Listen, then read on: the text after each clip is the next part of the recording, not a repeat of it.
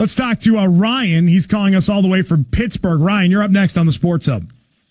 Yeah, the last two callers pretty much touched on what I was going to talk about. How Tom Brady's getting older. He said he's going to be 35. So he has what two or three years left as a Patriot. You think? I think that's a, a fair guess. Yeah. Do you think they're going to get someone like in a draft or maybe trade for a young quarterback? I know they have Ryan Mallett, but I don't know. Do you have any thoughts about him? Ryan, I think that uh, Ryan Mallett may be the next guy, but I don't think he's there yet, obviously.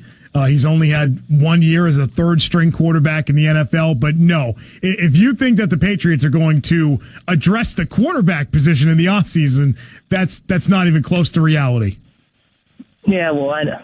Uh, some plays that uh, Brady was making today and recently, like uh, the uh, interception, I know you said it wasn't a big play, but it kind of shows how he's getting rattled in the pocket, like he's getting pressured, running around like he had spaghetti falling out of his pockets